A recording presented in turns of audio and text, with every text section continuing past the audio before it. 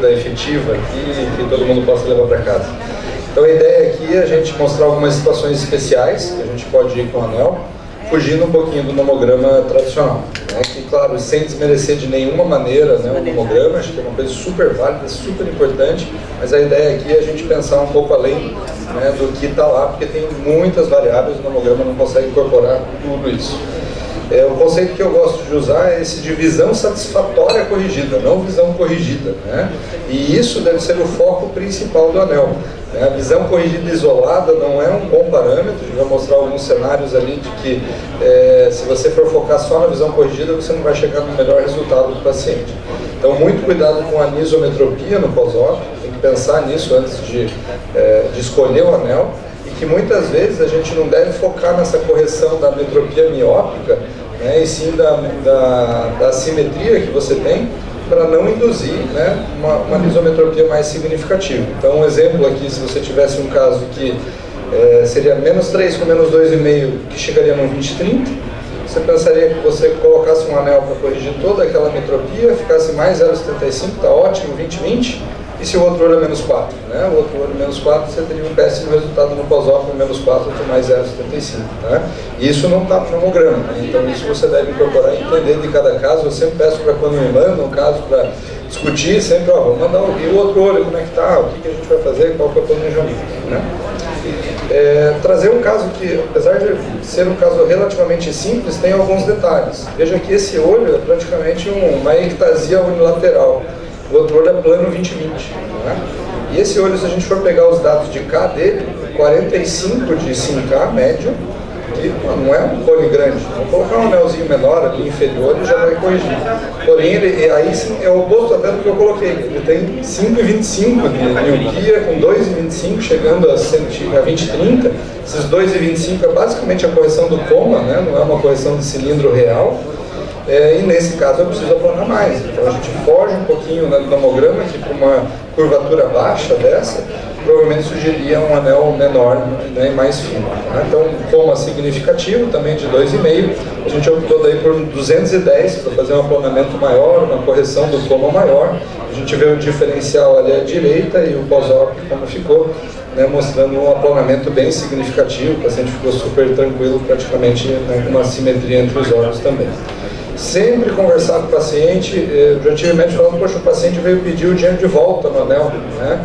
É, o paciente estava com uma expectativa irreal. Né? Você tem que colocar para ele que é, existe uma possibilidade não pequena, de às vezes, não ter aquela melhora da simetria, né, os casos mais desafiadores. Então, sempre botar para ele que né, 85%, você promete menos e entrega mais. Né? Pode ser que você consiga entregar mais, às vezes a gente consegue mas né, prometo ó, 85% de chance da gente conseguir tirar da lente rígida, reduzir a tometropia, você ficar satisfeito, mas tem uma chance não pequena de a gente não conseguir atingir lá, com isso vai cair muito né, esse problema de expectativa.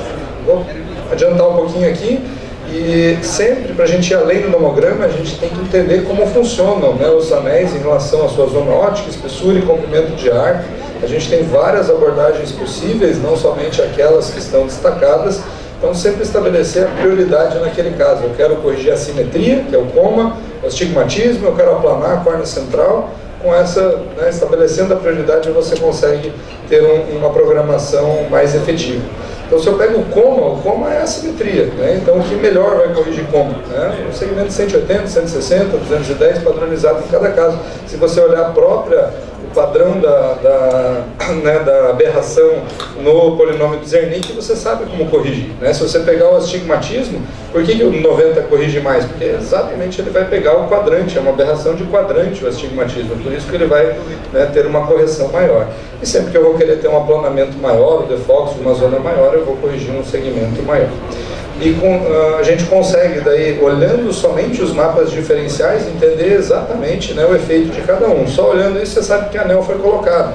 Então, né, no, no padrão ali em cima, a gente vê que tem um, são dois de 120, né, fazendo aquele efeito mais central. Inferior, um de 210, um de 160 superior à direita e um anel inteiro é, no inferior.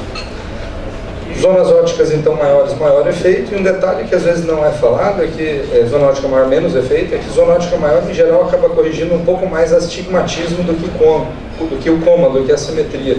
E a zona ótica menor faz um aplanamento maior central. Se eu pegar os diferenciais, eu entendo por quê. Ó, um S5 versus um S6.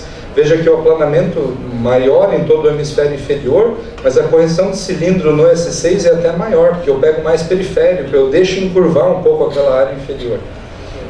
Aqui detalhes técnicos, mostrar alguns casos diferentes, então, um caso após transplante, um caso meio, tá pequenininho ali, mas um paciente de 60 anos, alto hipermetropial, amblíope extremo de um dos olhos, olho esquerdo dele era único, usuário intenso de lente latinosa, chegou com uma úlcera perfurada pela lente latinosa. Né? Temos transplante tectônico, é uma córnea tectônica evoluiu com bolhosa no olho único dele, fizemos um RTX três meses depois, né, evoluiu com alto astigmatismo pós-transplante, né, depois de retirados os pontos, mais ou menos 8 de cilindro, esse padrão topográfico. A gente tem possibilidade de usar né, é, incisões relaxantes, mas ao meu ver o anel acaba sendo uh, mais estável nesses casos se você tem né, um transplante de zona ótica adequado. Então aqui o perfil pré e pós, com uma redução significativa do cilindro, esse paciente acabou daí ficando mais 10,75, menos 1,5, lembrando ele era alto hipermétropo, ficou com uma ceratometria baixa. É, a gente fez uma faco depois, com uma lente de 35, e ele acabou com uma visão corrigida bem significativa. Né? Então aqui está, depois de todos os tratamentos, né, os dois anéis ali no eixo, num transplante que era tectônico, a gente conseguiu fazer uma zona ótica maior com o uso do fento, né? Em transplante sempre usar o fento, mas né, a gente consegue passo a passo chegar lá no resultado do paciente paciente de 67 anos aqui com catarata, paciente chega com catarata e cone, às vezes a gente não pensa, quer fazer e botar uma lente tórica direto, né? É, mas muitas vezes você melhorando essa córnea antes, você vai ter uma previsibilidade depois muito melhor na biometria, vai ter um resultado melhor. Essa paciente usava uh, um óculos antes, ela estava com catarata, não só corrigia 20 100, mas ela usava um óculos 6,75 de cilindro e o outro tinha bem menos, era simétrico também, tinha bem menos. Então eu sei que não é um resultado legal. Né? Ela falou que a visão dela era sempre ruim. A gente optou então por usar um segmento de 160 é, 300 para fazer o aplanamento, ficou com dois e pouquinho de cilindros, usamos uma T4 e também com resultado legal.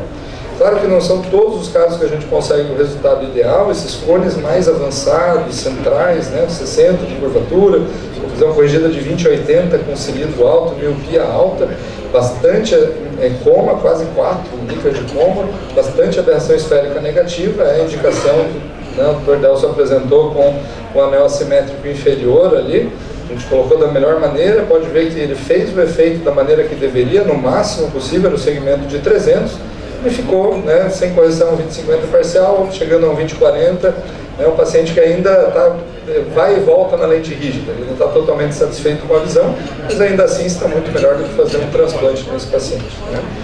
É, aqui só mostrando a melhora de coma, né? a aberração caiu bastante de 3.7 para 2.1, né? mas não é ideal.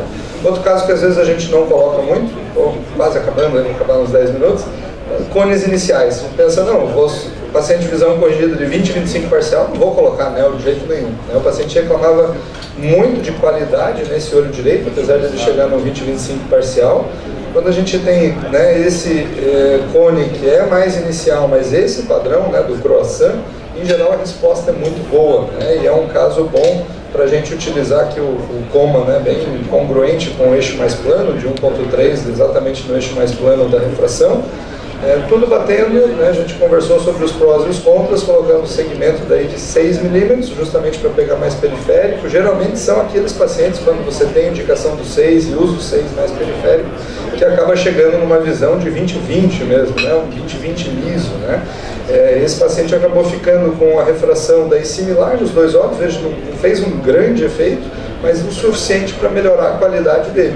Né? Uma redução ali no ápice de duas, duas dioptrias e pouquinho, mas ele chegando né, para ele que esse olho que era o pior é o olho que estava melhor do que o outro, querendo até fazer anel no outro, o outro falei, não, por enquanto ainda não no outro, o outro era um e pouquinho de cilindro, 20 Então, para concluir, né, o exame completo, o paciente bem orientado, expectativas realistas e planejamento bem realizado, a gente pode chegar lá no sucesso final. Obrigado.